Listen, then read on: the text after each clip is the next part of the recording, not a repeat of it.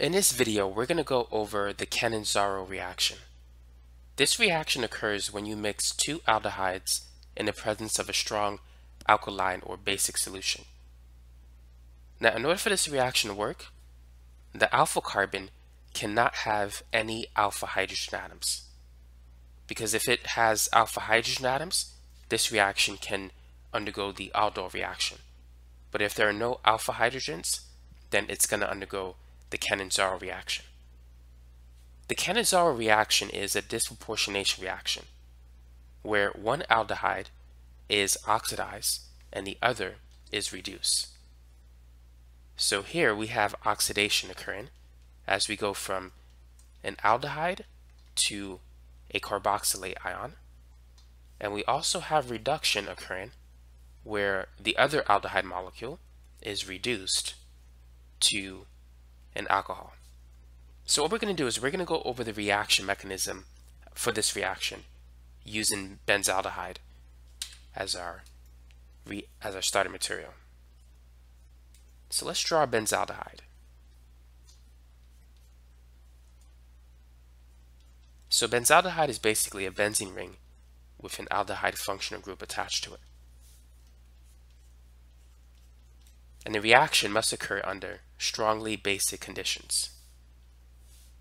In the first step, the base is going to attack the carbonyl carbon, causing the pi bond break.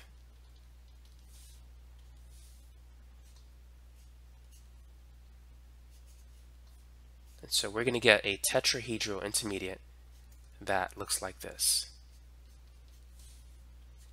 So right now the oxygen has three lone pairs and the negative charge. Now at this point we're going to react that intermediate with another benzaldehyde molecule.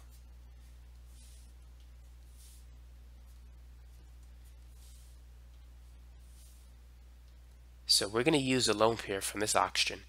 It's going to reform the pi bond and in the process, it's going to expel a hydride ion, which will attack the carbonyl group of the other aldehyde molecule.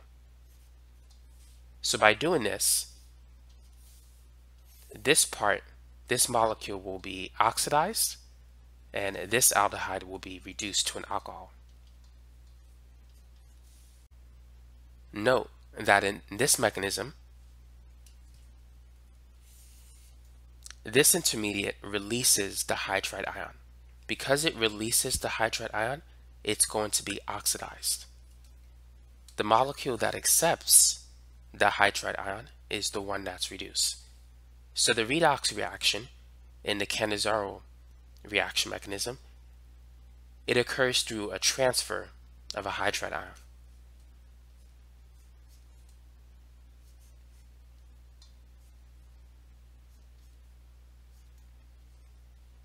So the first product initially will be a carboxylic acid. Now it's not going to last long in this state under basic conditions. And then the other product will be an alkoxide ion.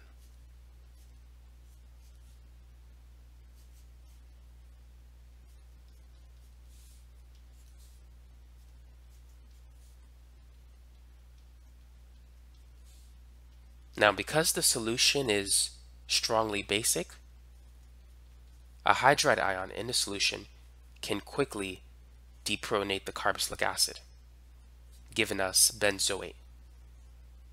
As the hydroxide ion abstracts a proton from benzoic acid, turning it into benzoate, it's going to turn into water. And this alkoxide ion can quickly abstract a proton from water, regenerating the hydroxide ion.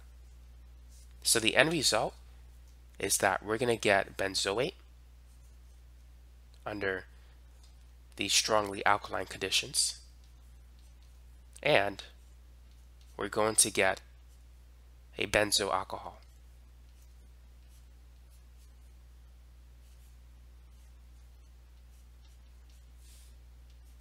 So these are the products of the Cannizzaro reaction between two benzaldehyde molecules. So now you know the mechanism behind the Cannizzaro reaction.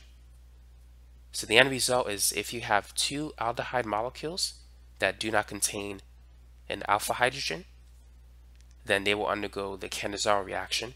One will be oxidized to a carboxylate ion, the other one will be reduced into an alcohol.